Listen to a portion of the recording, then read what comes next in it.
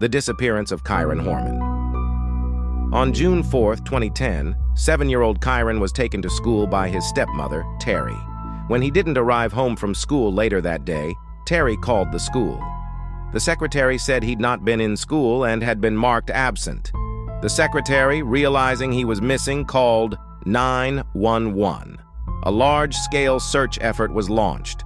A number of legal proceedings have taken place in the time since, including one by Kyron's mother against Terri.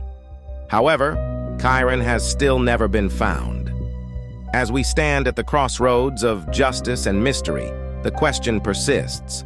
What happened to Kyron Horman on that fateful day in 2010?